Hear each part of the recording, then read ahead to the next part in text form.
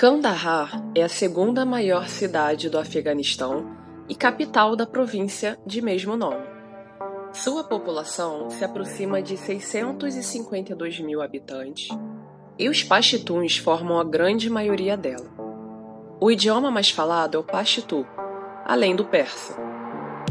Esse maior e mais conservador grupo étnico do Afeganistão é conhecido por suas ideias fundamentalistas, onde o comportamento é ditado por um código de conduta chamado Pashtuali, que prevalece sobre as leis do país, especialmente nas zonas rurais e cidades dominadas por essa etnia, como é o caso de Kandahar. Mas alguns pashtuns que adotaram a vida urbana tendem a ignorar as regras do Pashtuali. Na década de 1990, um movimento nacionalista e fundamentalista entre os pashtuns deu origem ao Talibã.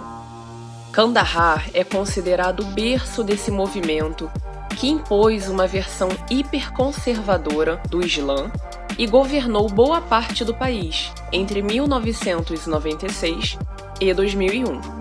Apesar desse governo ter sido reconhecido por apenas três países: Emirados Árabes Unidos, Arábia Saudita e Paquistão. Para muitos, o Talibã é uma organização terrorista. No dia 13 de agosto de 2021, o Talibã retomou o controle das cidades de Kandahar e Herat. Enquanto os Estados Unidos retiravam suas tropas, cidadãos e aliados, Cabul, a capital do país, foi tomada um mês depois, provocando a fuga de muitos afegãos e a retirada da maioria dos estrangeiros. A situação das mulheres requer especial atenção e orações. Elas foram, mais uma vez, totalmente banidas da vida pública. Muitas morrem durante o parto por não poderem ser atendidas por médicos homens. Um terço delas sofre violência física e o suicídio entre as viúvas é algo comum.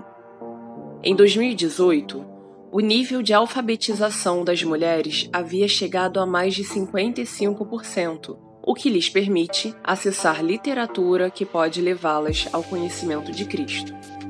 Os paxtuns não têm a Bíblia completamente traduzida. Há apenas alguns trechos do Antigo Testamento, alguns recursos audiovisuais, como o filme Jesus, e a transmissão por rádios de programas cristãos na língua paxtu. Essa escassez de recursos, aliada à dificuldade de declarar abertamente a própria fé e a proibição do proselitismo no país, fazem com que a tarefa do anúncio do Evangelho seja bastante difícil entre os pastores. Oremos. Ore para que a Igreja dobre os joelhos pelo povo de Kandahar, para que eles possam conhecer Jesus que Deus se revele a eles, mesmo que por meio de sonhos e visões, que possamos ver um movimento de pessoas vindo a Jesus como nunca antes. Ore para que Deus envie obreiros para Kandahar. São grandes os desafios a serem enfrentados. Clame para que Deus abra as portas de Kandahar e do país inteiro, a fim de irem para lá médicos, homens de negócios, e outros profissionais seguidores de Jesus Cristo, desejosos de compartilhar a sua fé com os pastores.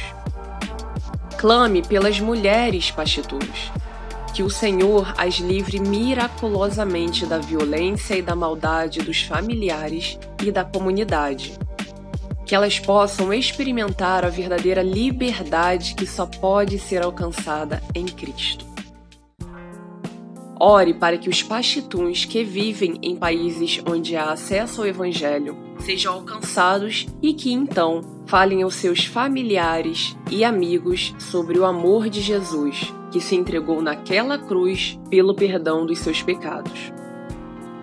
Clame pelos poucos seguidores de Jesus que mantêm secreta a sua fé.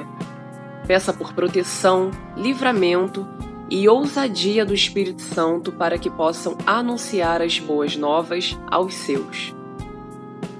Ore para que 10% do povo de Kandahar conheça Jesus como Senhor e Salvador até 2030.